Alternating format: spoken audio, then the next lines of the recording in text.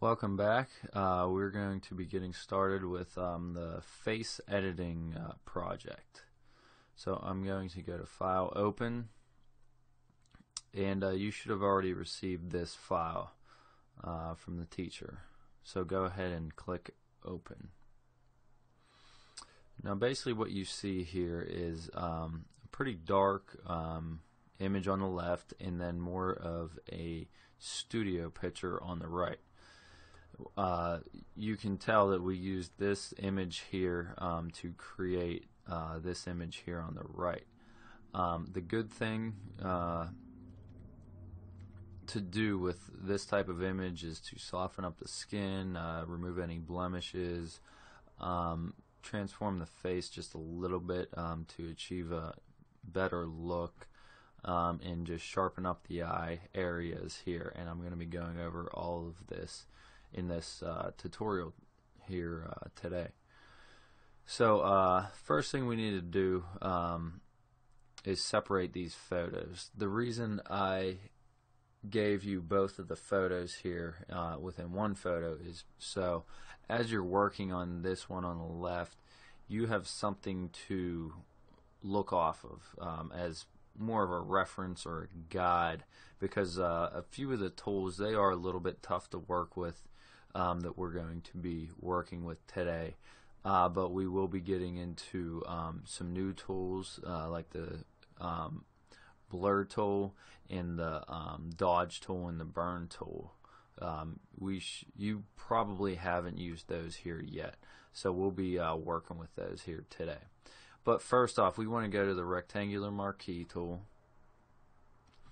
And what we want to do, we want to start in this upper left hand corner click and drag so the dotted line is coming down right in the middle of the two photos and let go.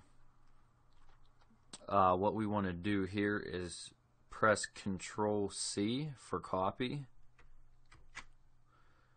and then press Control V to paste and that automatically will um, create a new layer here.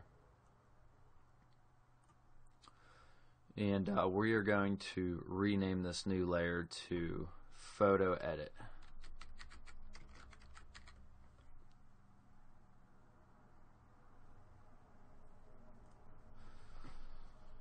okay uh, the first thing we want to do is bring the brightness back into this. Um, we'll be adjusting the exposure levels. Um, exposure, whenever I say exposure, it means um, the brightness of the photo and how much light actually is exposed to the photo. So if it's low exposure, there is not much light.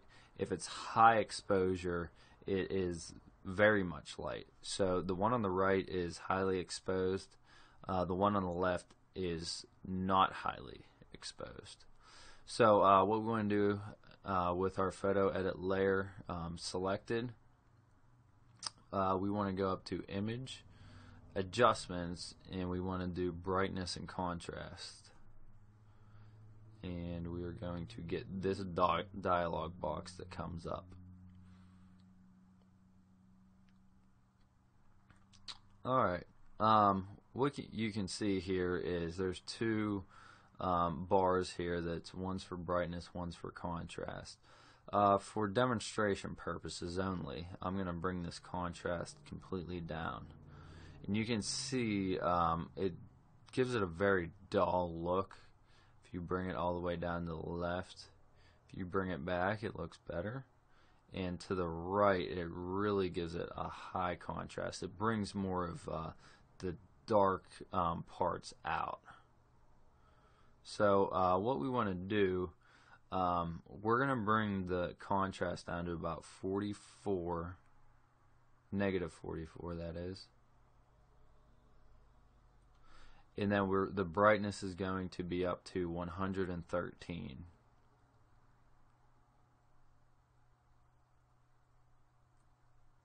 Or you can just click and type it in. And you can see already um, with the brightness up, um, it um, really um, brings the exposure value up quite a bit. And uh, if you want to check on and off your preview button, it shows you the um, before and then after. So let's go ahead and click OK.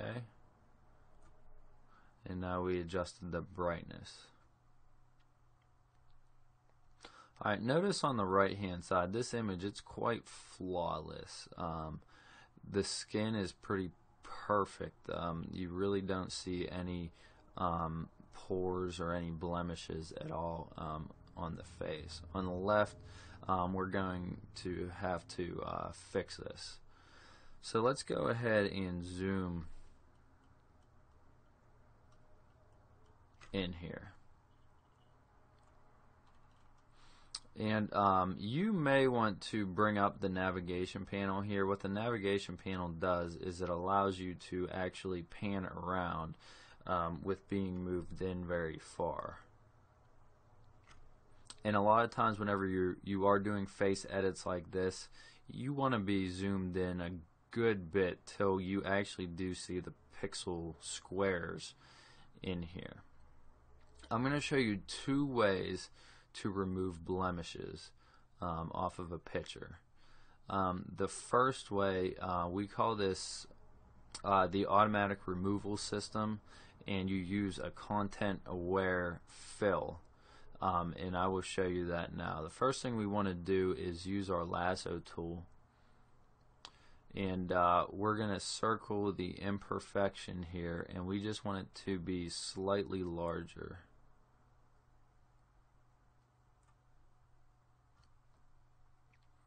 Now, what we want to do is go up to the edit and go down to fill.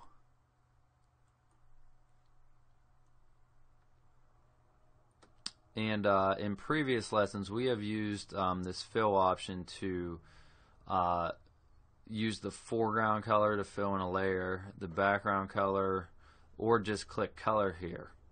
What we want to actually use is content aware what that will do is take everything inside this uh, selection and then automatically correct it. So if you go ahead and click OK, you can see that it takes it away. And you can do a Control D. Uh, and with the advancements of technology day in and day out, um, that content aware is pretty new to the newer um, Photoshop um, software, and it, as as much as it develops, it just makes editing um, things easier. You can tell that we just circled something and then clicked a couple buttons, and it fixed it automatically. Um, so you'll see that um, once you actually learn these tools and the different options, they are quite easy once you um, start working with them a bit more. Uh, I'm going to zoom out just a tad bit here. Um, we have one an imperfection down here and also an imperfection up here. Uh, for these ones, I'm going to show you one other method to actually fix these, and that is the clone stamp tool. If you go ahead and click um, right here on the clone stamp tool, what you can do is hold in Alt. And if you hold in Alt your cursor turns into an arrow. And what I want to do is click on the target area that I want to copy and I'm just going to click once. And then I'm going to let go. And then whenever I hover over this area it'll before I click it'll show you a preview of what it's going to look like um, so I'm going to click once here and then I'm going to move over a little bit and click one more time. So uh, define your target area and then I just clicked twice and then it cleared that area up. Now I'm going to go down here and I'm going to um, actually use my brackets to bring this down a bit. I'm going to define my target area about right here. And I'm going to just go ahead and touch it up right there. And uh, there may be, uh, I'm going to do one more right here. Okay, that's good. Alright, we're getting there. Um, so that's um, for actually um, removing uh, unwanted areas on um, your photo. Um, Alright, next thing we're going to do is work with the blur tool. The, the blur tool is right over here. If you go ahead and click on the blur tool, um, it is used for skin softening. So I'm going to um, use my brackets here to um, bring down the size of the actual brush. And uh, what we can do, we're going to go around the outside here with a very um, soft brush. So you want to make sure your hardness is down to 0% and um, we're going to go make sure the strength is up to 100% for the outside of the face here. Now, um, the blur tool does exactly what the name says. It takes the pixels that are within the area, and I'm just clicking and dragging here. And what it does, it blurs them together. And you can see here um, those real deep uh, pores here um, that are less than perfect um, get blurred together to uh, soften up the skin. And you're going to want to use your brackets here to um, bring the cursor larger and smaller. I'm just going to work around here. And uh, let me zoom in just a little bit here.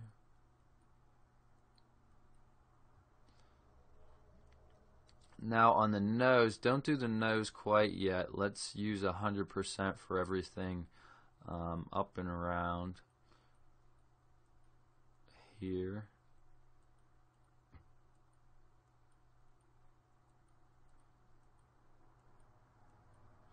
And then I'm going to bring the strength down to about 18%. Um, 18% is good uh, because we don't want to blur too much of the nose. The nose is one of those real detailed um, parts of the face that um, if you tamper with it too much, it's going to distort it and make it not look right whatsoever. So I'm just still clicking and dragging.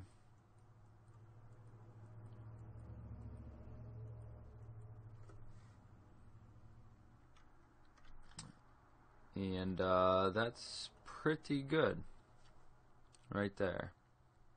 Uh, I'm not going to do. Uh, actually, there's a little um, area down here, little line it looks like that I want to blur a little bit. And uh, that should be about it for that. Alright.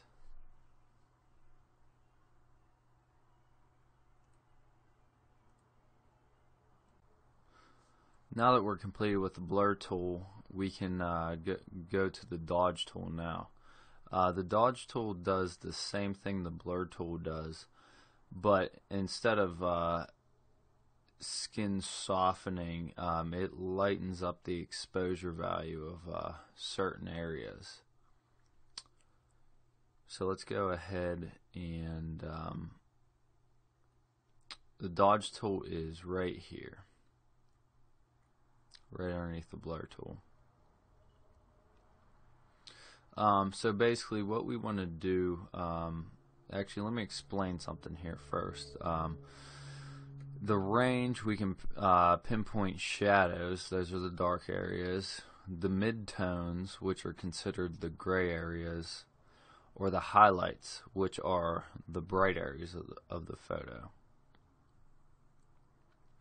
Um, what we're going to do is use the midtones. We're going to use an exposure value of 25%. And what I'm going to do is just go ahead and go around the outside of the face. And this is just going to lighten some areas up a bit.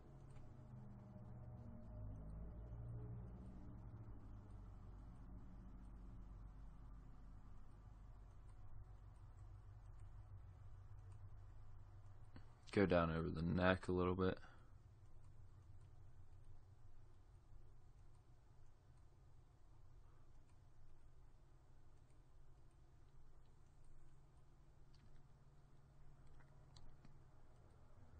Maybe a little bit on the nose.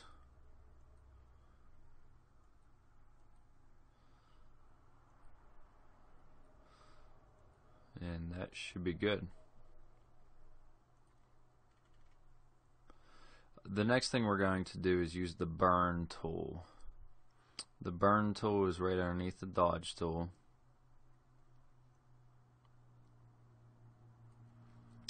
and it does exactly the opposite. Instead of adding highlights um, or lightening up the photo, it is going to darken parts of the photo. So we're going to emphasize um, around the edges of the face.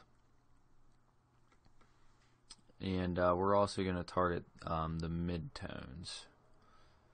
So exposure value 25% and make sure your brush is very soft brush down at 0%. And now we don't want to overdo this. Um, if you overdo it, um, what we're going to do is use the history brush to go backwards. Um, so I'm going to go ahead and just kind of start. And you can see over in this other picture kind of where um, it was done at. So I'm just going to just lightly just click and drag. And this kind of uh, really emphasizes kind of the cheekbone area. No, I think I went a little bit too dark on that one side. Let me actually back that up a little bit. Actually, I'm going to go back a little bit more. I'm going to redo this a little bit.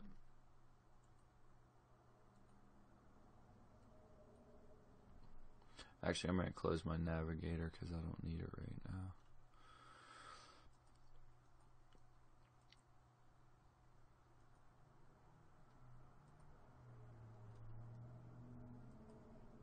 now. Okay.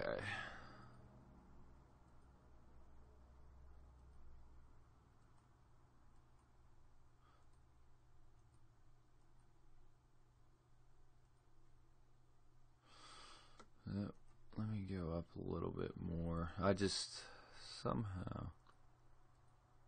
Okay. That's good. Just a tad bit on the cheeks. And feel free to pause the video and uh, mess around with this uh, just to get it um, the way you want it.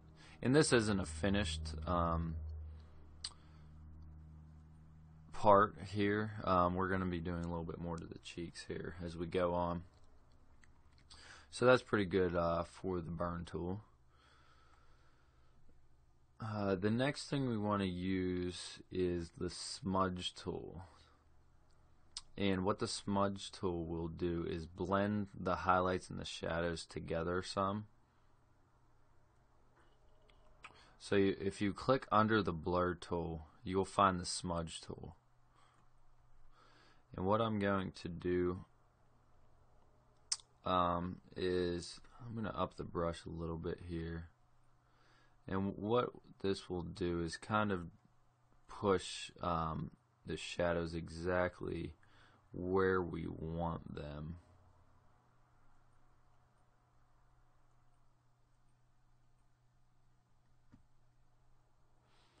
And uh, like I've been saying over and over again, don't overdo it. And that's actually pretty good right there. That's about all the farther I'm going to go with it.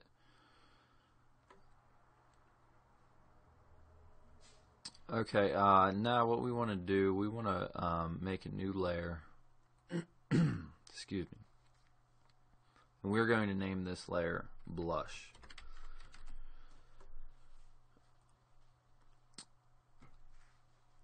After we name the layer, let's go over to the foreground color.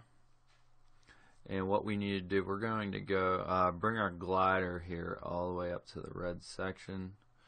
And I'm going to pick um, about right here. And what we're going to do is uh, put some blush on the cheeks here. Slider all the way up. And this is about the color I'm going to pick right there. Click OK. And we want to click on our brush tool.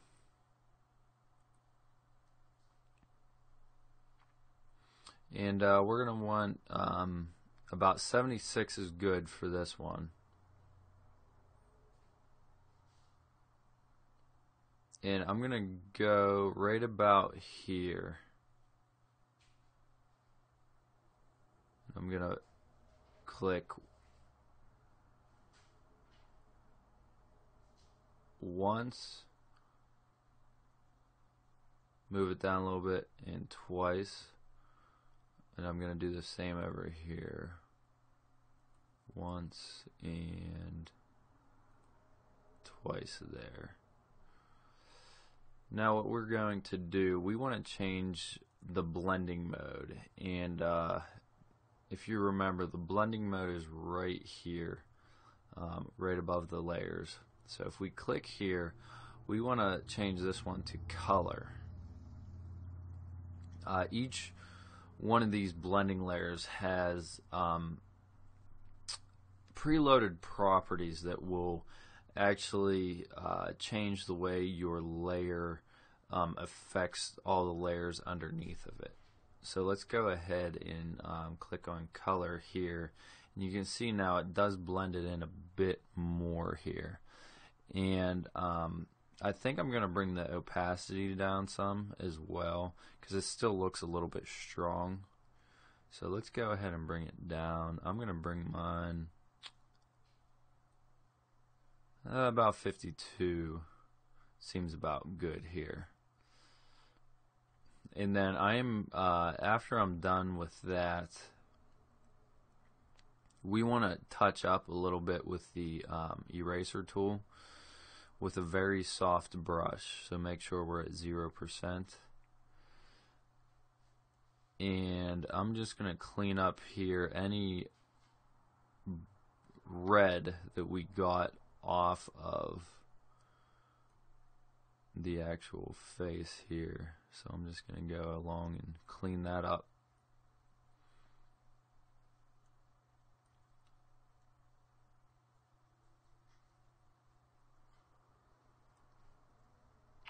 Okay.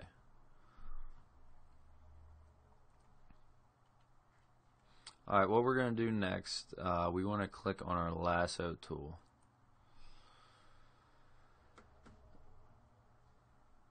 after we click on the lasso tool, we're going to circle both eyes here. So you might want to just go ahead and click on the add to selection area here. And I am going to click and just drag around.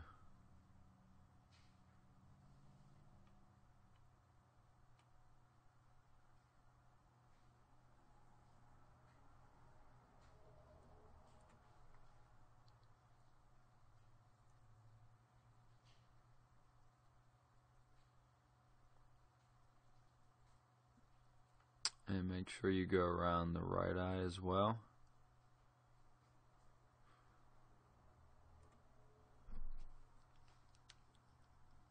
And there we are. And uh, again, feel free to pause the video right now and get your selections how you want them. You just want to make sure the eyebrows and the eyes are um, selected.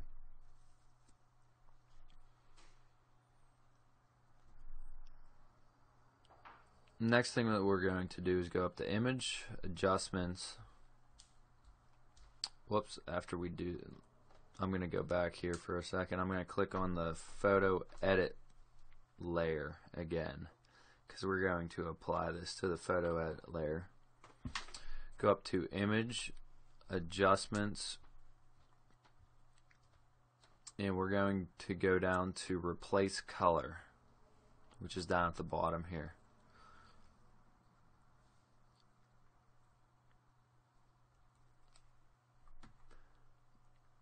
Now you'll see this dialog come up. And um, the first thing we want to do is we want to make sure the eyedropper tool is selected. And what we're going to do is use the eyedropper tool to pick the darkest color that is within the two selections. So I'm going to go ahead up and I'm going to pick about right right there. Make sure that's a pretty dark color right here. And uh, you can see um, the fuzziness here. If I bring the fuzziness down it doesn't select any of this color at all the fuzziness basically is a range of how how many pixels you want to um, select that are close to the color that you selected. So um, the fuzziness um, about 161 is good from here.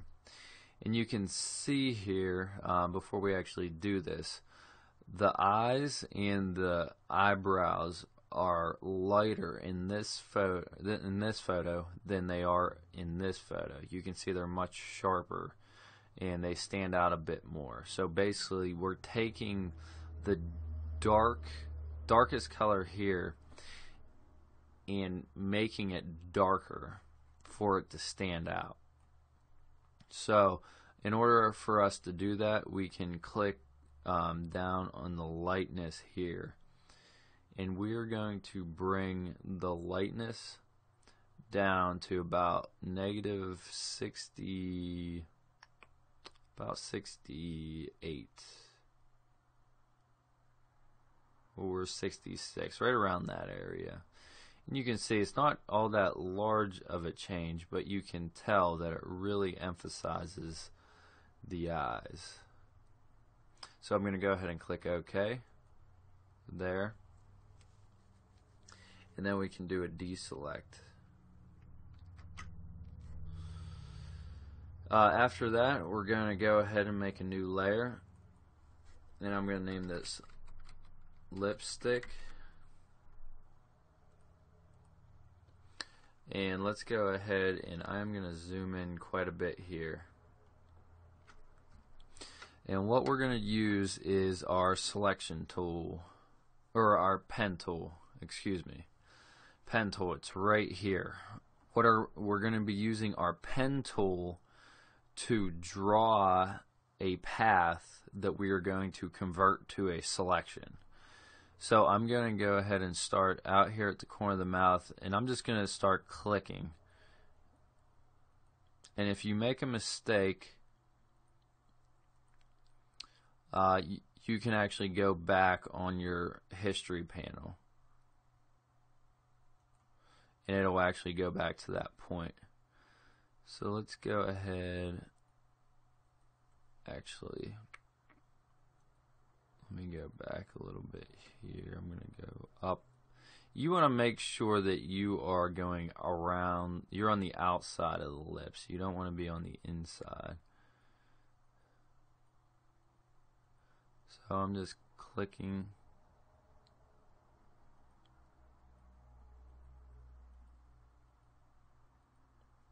and following around the lips here.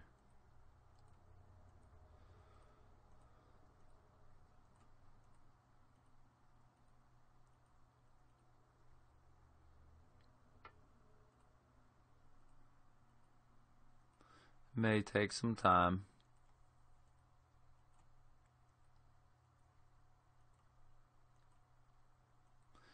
And then whenever you come to the end here, make sure you click back on the last point, and you'll know it's the last point because whenever you hover over top of it, there's going to be a little circle that shows up right beside the cursor. So go ahead and click there and it closes it off. And then I'm going to right click and then click on make selection.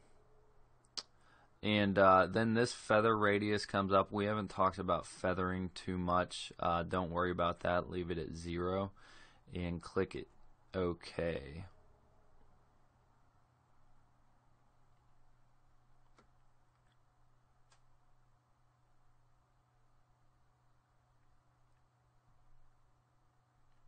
and uh, we're going to go ahead and uh, let's change our foreground color here to straight red okay and do an edit fill and we're going to click on foreground color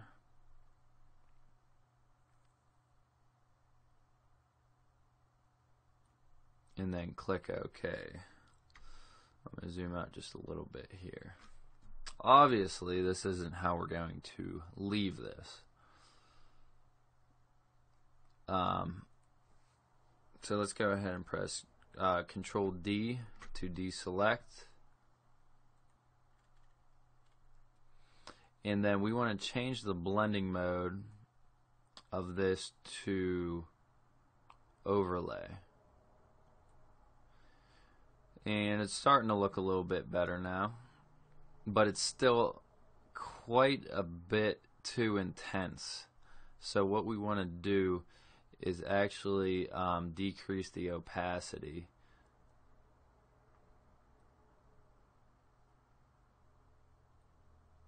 And you can see it's starting to work in our favor a bit here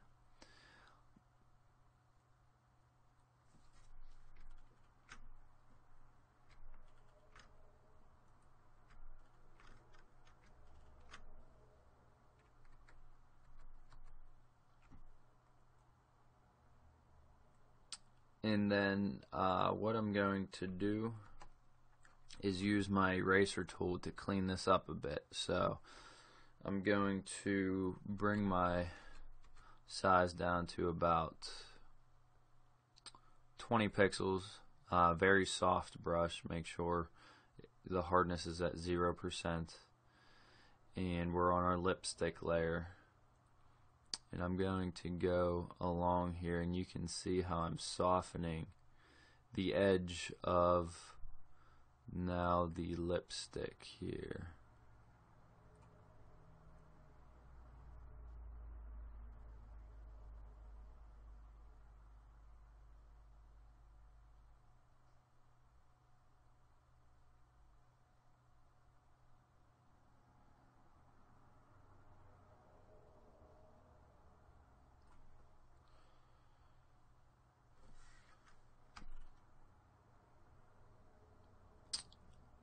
There we are. Um, the last thing uh, that we need to do um, is we're going to, you can see here, the nose on this side is a bit thinner and um, the cheeks down here are a bit thinner. So what we are going to do is click back on the photo edit layer and then we're going to go up and use the liquify option. So filter liquify and this dialog box is going to come up and uh, I'm going to zoom in here a bit. And I'm going to use the forward warp tool. And I'm going to bring this up a little bit a bit and you may need to experiment with this first. Uh, you're gonna actually let's do the pressure at a hundred here and the density or just keep the pressure at 100 and the brush around 60. Um, you can see that I already started to mess with mine. I'm going to click the restore all option here and then um,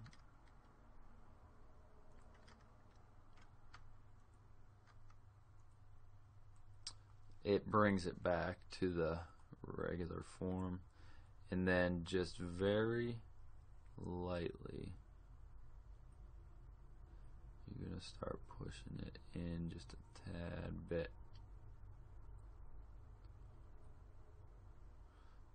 now I'm going to um, jawline bring it up a little bit bring the brush size to about 76 or so and then just subtly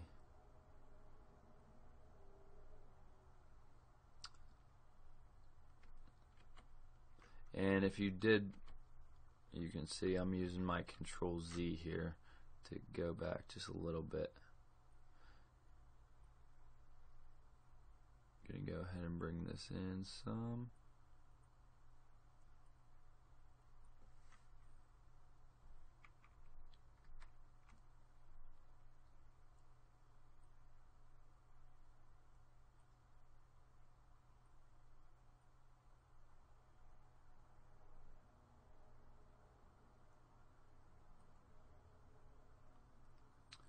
And uh, whenever you got the desired result that you want.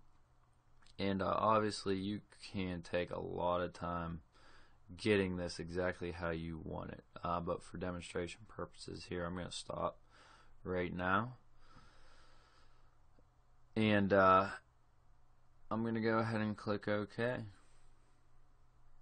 Now um, let me zoom out a little bit here. You can see that um, it's not exactly uh, what the one on the right is, but um, like I've reiterated before many times, it's very tough to duplicate something in Photoshop exactly.